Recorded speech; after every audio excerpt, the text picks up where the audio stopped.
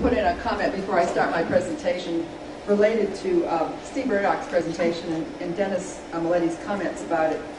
Um, the, the concept of the prospect of enhanced challenges and disaster impact as a result of the decline of capacity of communities to support their citizens in uh, honorable and productive and remunerative jobs and the quality of life that comes with that uh, in a community.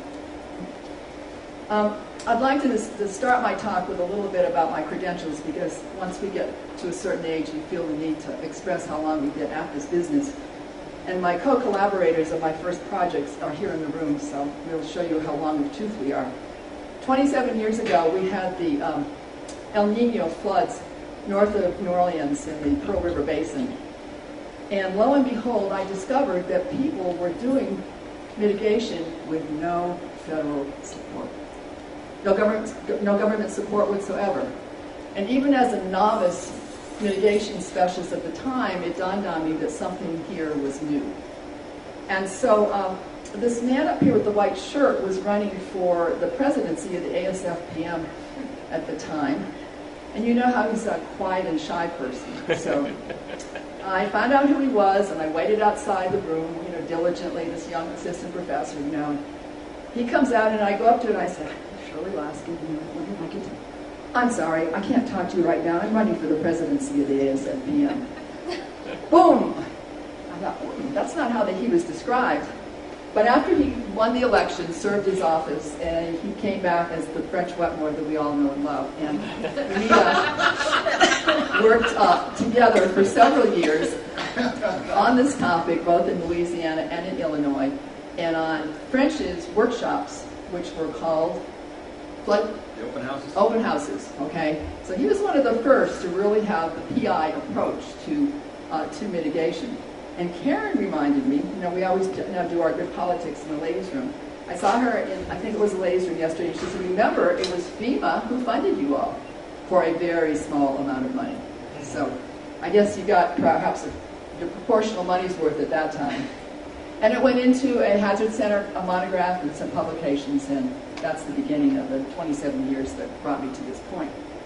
So I'm going to talk with you about a concept that we're calling the oval table. And I've subtitled it, Providing a Safe Borderland for a Synergistic Mitigation Engagement. And I want to tell you how it, how it came to be, and it has to do with those 27 years I just mentioned. Um, I've concluded now that I'm two years uh, into uh, quote-unquote retirement, which as you know in the disaster world is only happens when you actually drop dead, you know, um, that um, we all do get grumpy at this stage of our lives. And two of my very favorite people, one of them just recently deceased, who are some of the grumpiest and the most brilliant, are Ray Burby, and you know he's alive and well and continuing to be grumpy, and um, Bill Freudenburg, who two years ago did the plenary here and passed in December. And both of them could not contain the fact that the world could not, cannot, because Ray still cannot, the, the world does not listen to the good opinions, scientifically based, that these, these two people have. Uh, that floodplains will be developed regardless of what you do in communities is something that Ray discerned in a very scientific fashion, and no one will listen to him about that, nor the advice he wants to give us with regard to how to mitigate that. And Bill Freudenburg worked with us on the Mississippi River Gulf outlet catastrophes in the making and could not stop saying that if we found ways to make it unprofitable for developers and growth machines to develop risky areas, you know what? They wouldn't develop them.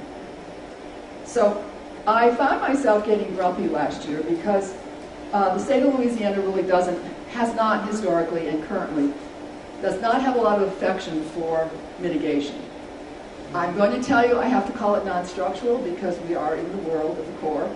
And so we're not equals among equals, and that's the vocabulary that we all use. So there's no love for non-structurals. And Garrett Graves, who came in from Washington, um, Margaret knows him well, to lead our post-Katrina Coastal Protection and Restoration Authority, um, non-structural, it doesn't work for him.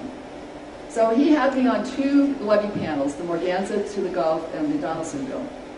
And um, I told him that, you know, I really couldn't believe that the state didn't want to deal with non-structurals. In fact, I yelled at him about it. And I threatened to resign from the committees. And then I knew that I had to stop this nonsense because obviously his ear flaps had closed and so had the people under him, and I wasn't going to get any traction. So last year, an architect whose name is Elizabeth English, who was basically drummed out of LSU because she had two good ideas, in my opinion, and they had to do with floating houses, which now even FEMA is willing to talk with her about in, in certain conditions.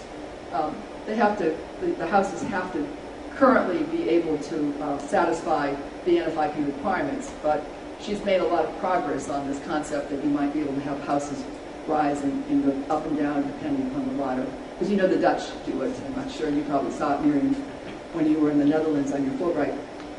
And there were enough people whom I knew who were, I call them technically knowledgeable about non-structural, in, this, in the town for her meeting, that Chris was able to find a Presbyterian church up the street. It's always good to have good religious friends in, in your circle of close friends. And the library had an oval table. Okay? Well, uh, the young man who now co-chairs this committee with me uh, decided he would coin the, the group the oval table. But with the symbolism that the Corps sits at one point of the oval, the state sits at the other point because we're not all equals among equals, you see. And so that title has, has taken, and the, or, the group has started to gain momentum and, and itself, itself have, have some, some legs. Now, the concept as we are organizing it has to do with the work that Chris has just completed for her dissertation. And it has it, I, I recommend you to read her dissertation, and it might not even put you to sleep, okay, as most dissertations do. Bill's nodding, uh, readable, huh? Because the dissertation is about us. She does participatory action research, which usually means that you focus on engaging communities. But her, she reversed the question what happens to us when we engage with communities? Now, we expected that Rosina and Grand Bayou was going to be the, um, the focus of her dissertation, but instead, Rosina and Grand Bayou become the crossover group who come to, to here, come to the Hazard Center conferences, and have been the medium by which we have grown in terms of appreciating communities. So Chris's theory is that in a borderland, you need to have people see that they are safe in being able to articulate. And this is what happened with Cindy this morning and Roy, because uh, I asked Cindy if she might comment on the things we talked about at lunchtime, and then I thought, oh my God, is this safe for Cindy to do so, given that Roy had stepped out of the room, you know, because Roy, it's Roy's program. But we worked it through, we sort of did the, the safety elements, you know, of it. So sitting on this committee, this uh, oval table right now, are two federal agencies. You all might know Kevin LeVitro. He's the chief economist for the New Orleans Corps, but he also is a CFM. And he's now sitting on the Corps' National Non-Structural Committee. So you all made inroads in getting these, these, you know, these people involved. The National Park Service has a representative because we now have the Gulf of Mexico Task Force that's going to try to restore the ecosystems down there. We also have um, a member of the mitigation uh, department of the, of the SHMO in the Department of Homeland Security. We have a representative of the Coastal Protection Office. I haven't approached Cindy O'Neill yet. She's the only one I have not approached. And we also have somebody from the Office of Community Development who happens to be, like Alessandra, one of the doctoral students in the program. Okay, now in addition to that, we have French, we have Larry Buss. Larry is literally physically fighting flood, flooding up in the Missouri with his tractors, okay? I swear, it's physical fighting of it. He emails me just yesterday and says, how's the oval table going? I, please remember, I'm part of it. I'm just right now up to my ears in water, and we're trying to, you know, fight these floods. For those of you who don't know Larry, he was the chair of the Corps' Non-Structural National Committee, and he also currently chairs the uh, ASFPM's Floodproofing Committee, okay? So, um, in addition to that, we have the uh, LSU Ag Extension and Marine agents who have been actively involved in non-structural, and of course the staff and graduate students from my center, CHARM. Now the interesting addition in a group that, with whom the uh, National Hazard Mitigation Association is currently involved in are the environmental groups.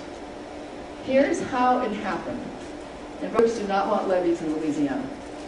Okay, simple. Levees harm ecosystems. I say that based upon the science I have been exposed to. Um, some people might argue that you can have levees that are leaky levees and it's okay, but show me a leaky levee that really works in terms of ecosystem and, and then I will be, I'll change my professional opinion. So they got a grant from the Blue Moon Foundation to work with communities on something they called How Safe, How Soon. Certainly sounds like what we do, doesn't it? But they didn't know how to make the community safe. They took money and gave us two graduate assistants in charge. And those graduate assistants came to us, met with us, were in our meetings, and took the information over to the environmental groups. Environmental Defense Fund, National Wildlife Federation, Audubon. Okay? Sierra Club sometimes. They're, in and out of this, this conversation. When the communities had more questions, what did they do? The graduate students came back over, made appointments with all of us, asked the questions, got the information, went back and forth. Now, you might anticipate that we have two graduates of our program who are fully informed about non-structural and about mitigation as a result of their role, but now we have incredibly knowledgeable environmental groups who know what we know about non-structural. I've even said and meant it completely that they write pieces that are better than what I could write. What reasons? They have marketing people, PR people, I don't care what the reasons are, it's there, okay? And I understand that what they're now doing is they've engaged you all to continue this conversation and to have a white paper for national uses. Okay? So they're at the table. So one of the, the young man who is part of this group, the National Wildlife Federation, who is a resident of Houma, as Chris and Dick are, is the co-chair of this group. Now, the benefit of that is, is that he's young. A third of this group are very young let me make Alessandra be part of that. She's borderline now. She's getting old because of how much she works.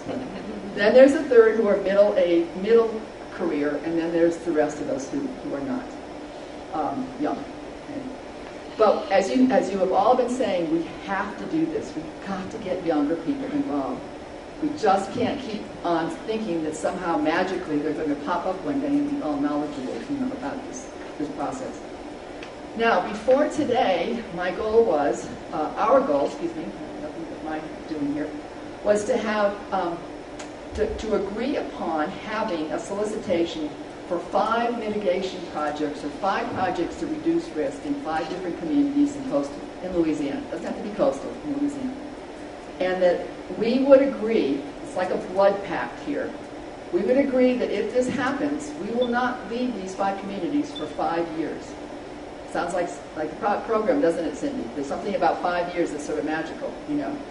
And that we would also have a declaration of principles of the interaction that we would have with these communities. Uh, this declaration of principles has, again, a concept that's been worked through with Chris and Dick, and Rosina has been very key to it. We sort of start with a draft, and then after the draft, we would end up then working with the communities to refine it. So the idea would be to engage Louisiana communities further from where they are in non-structural. But we're challenged by two different things. One I'm excited about, and that is that all this group has all these agency silos. And we're asking them to come to the table and drop some of that silo. I mean, obviously, they have resources, they have knowledge, they have responsibilities, but to work as a team, and I'm envisioning that we would break up so many, uh, so many individuals per, um, per community. But the other challenge is, is we can't sell non-structurals for the benefit they are if we don't know what that benefit is. And to repeat Dennis's statements, we need science on benefits, both the monetary but also the other kinds of benefits that, that can come, come to pass. Thank you very much.